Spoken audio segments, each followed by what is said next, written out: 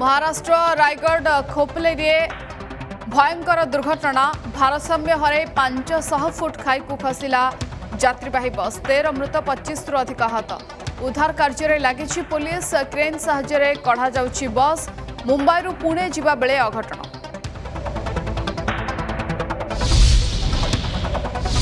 ସମ୍ବଲପୁରରେ ଅନିର୍ଦ୍ଦିଷ୍ଟ କାଳ ପାଇଁ କର୍ଫ୍ୟୁ ସହରର ଛଅଟି ସ୍ଥାନରେ କଟକଣା ବଳବତ୍ତର ବୟାଳିଶ ପ୍ଲାଟୁନ୍ ଫୋର୍ସ ମୁତୟନ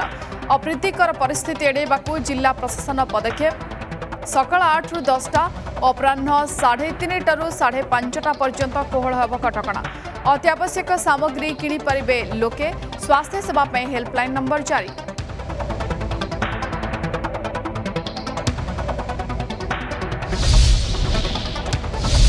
ଆଜି ବି ଜାରି ରହିବ ଗ୍ରୀଷ୍ମ ପ୍ରବାହ ଛଅ ଜିଲ୍ଲାକୁ ହିଟ୍ୱେଭ୍ ଆଲର୍ଟ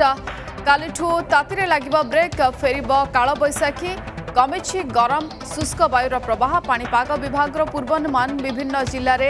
ହୋଇପାରେ ହାଲୁକାରୁ ମଧ୍ୟମ ଧରଣର ବର୍ଷା ଏକୋଇଶ ଜିଲ୍ଲାକୁ ୟେଲୋ ଆଲର୍ଟ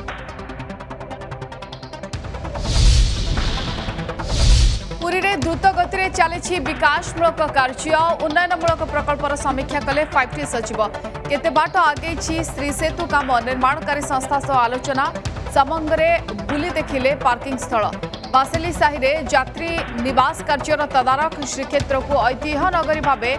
गढ़ी तोलें साकार मुख्यमंत्री स्वप्न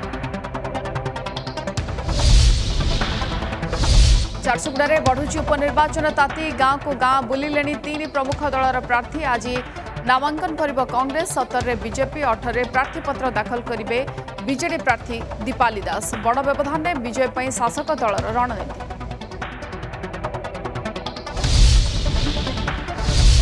ଆଜି ରାଜ୍ୟ ବାର୍ କାଉନସିଲ୍ ନିର୍ବାଚନ ପଚିଶଟି ସଦସ୍ୟ ପଦବୀ ପାଇଁ ଛୟାନବେ ଜଣଙ୍କ ମଧ୍ୟରେ ପ୍ରତିଦ୍ୱନ୍ଦିତା ମତାଧିକାର ସାବ୍ୟସ୍ତ କରିବେ ଚଉତିରିଶ ହଜାର ନଅଶହ ଆଠ ଜଣ ଆଇନଜୀବୀ दिन दसटा अपराह पाँचटा पर्न्त चल्यो भोट ग्रहण एकैस आरंभ आरम्भ गणति प्राय प्रायः नर्ष अनुष्ठित हुन्छ निर्वाचन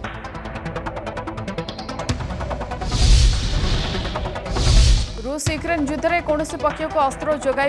चीन वैदेशिक मन्त्री घोषणा पर आश्वस्त अमेरिका जिन्पिङको मस्को गस्तु जारी र संशय युक्रेन जातीय निरापत्ता मुख्य कहिले अणनिषिद्ध अस्त्र र प्रयोग सपटे विभिन्न सहरुस हमला दस मृत एकैस आहत